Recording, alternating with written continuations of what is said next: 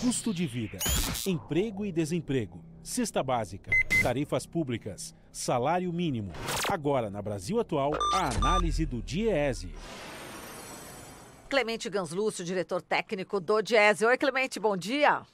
Bom dia, Marino, bom dia, ouvintes. Ah, pelo cenário, você está em São Paulo, né? Hoje estou em São Paulo, né? Estou aqui entrando ao vivo, tal, bonitinho. Tá certo. No, Cle... no Skype, tudo no bonitinho. Skype, tá tudo chega certo. Chega no aeroporto, chega de avião por ah, hoje. Nossa, nem fale, deve cansar bastante, não, Clemente, pegar tanto avião, né?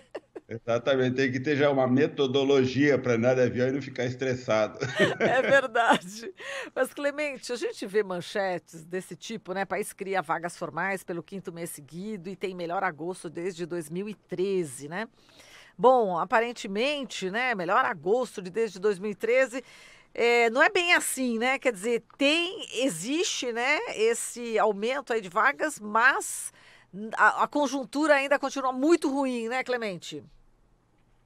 Bom, Marilu, de alguma, de um certo aspecto é positivo esse resultado, 121 mil novas vagas no mês de agosto, é uma mudança importante do ponto de vista do resultado, porque nós estamos há quase cinco anos com contínuos resultados muito ruins no mercado de trabalho.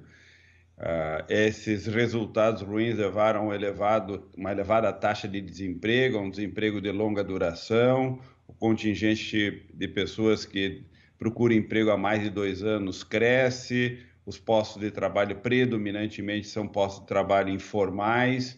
De cada cinco postos de trabalho, quatro têm sido postos de trabalhadores autônomos por conta própria, sem proteção social, portanto, postos de trabalho muito precários e inseguros. E esse resultado para o mês de agosto é um resultado importante porque ele traz a criação de mais de 120 mil vagas com carteira de trabalho assinada, portanto, dando um certo alento ao mercado de trabalho que tem crescido do ponto de vista da informalidade e da precarização. É evidente que o resultado ainda é muito aquém daquilo que a economia precisa em termos de geração de postos de trabalho para enfrentar o problema de mais de 13 milhões de pessoas desempregadas, quase 28 milhões de pessoas subocupadas, um desalento de quase 5 milhões de pessoas. Portanto, esses milhões de pessoas, frente aos 100 mil, 120 mil postos de trabalho, é uma longa trajetória de criação de postos de trabalho.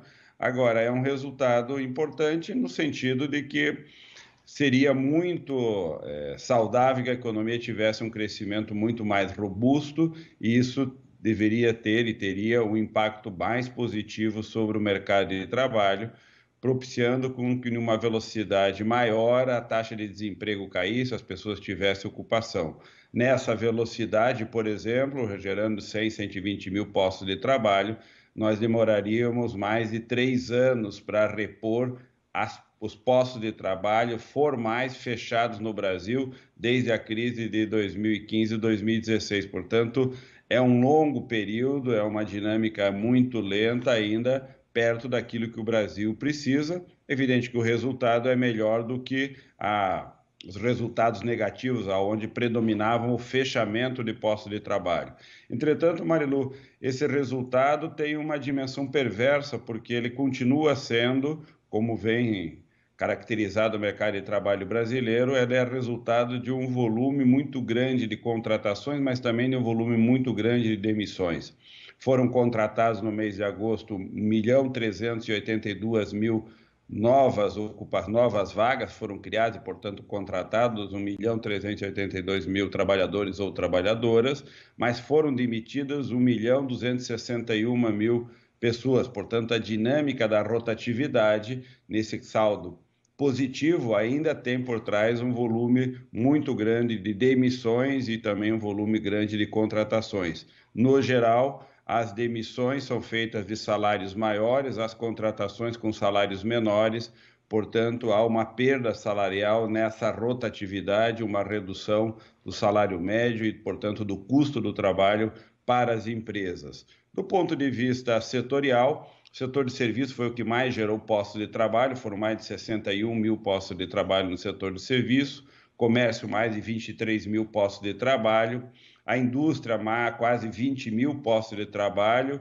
na administração pública e extração mineral um pouco mais de mil postos de trabalho em cada um desses setores. Quase todos os estados tiveram saldos positivos, somente o Rio Grande do Sul e Sergipe com resultado negativo. Aqui em São Paulo, o saldo foi de 33 mil postos de trabalho gerados, com uma variação de 0,27% em termos de crescimento dos postos de trabalho no estado de São Paulo. Do ponto de vista, como eu disse, da renda, o grande problema nesse aspecto do mercado formal é que predominam postos de trabalho criados com salários menores do que aqueles postos de trabalho que foram fechados, predominam postos de trabalho entre um e dois salários mínimos, portanto, postos de trabalho com baixos salários, apesar de um leve crescimento do salário médio dos assalariados, ainda assim predominam postos com baixos salários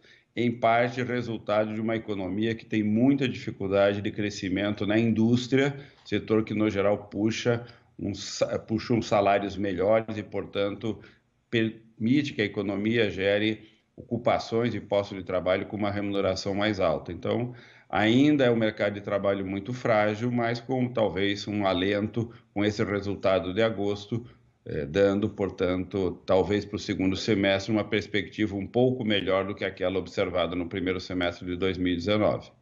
Perfeito, Clemente. Olha, a gente agradece aqui a sua participação. Um grande abraço para você. Até amanhã. Até amanhã.